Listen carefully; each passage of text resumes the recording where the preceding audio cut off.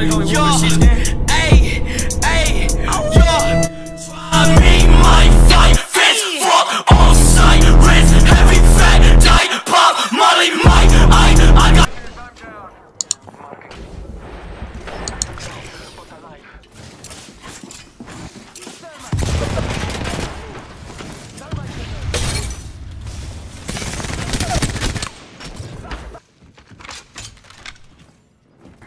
It's a race to the beacon.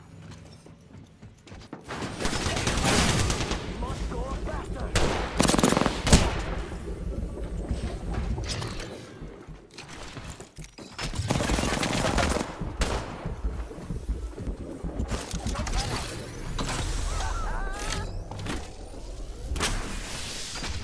time.